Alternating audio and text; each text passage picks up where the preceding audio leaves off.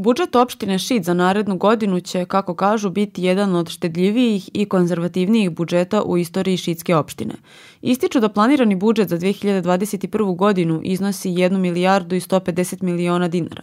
Nacrt odluke dostupan je na internet stranici opštine Šid, a svi građani, udruženja direktori javnih preduzeća i ustanova su pozvani da učestvuju u javnoj raspravi.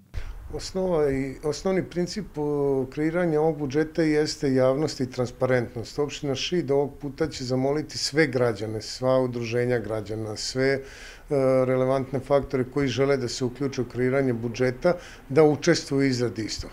E, siguran sam da će naši građani svojim primetbama i svojim predlozima doprineti tome da se urade najbitnije stvari u našoj opštini. Kako je ovu godinu obeležila pandemija virusa korone, očekuje se da se posledice toga osjećaju i u narednim godinama. Opština Šid na današnji dan je ispunila tek negde oko 60% prihoda projektovanih iz budžetom za 2020. godinu.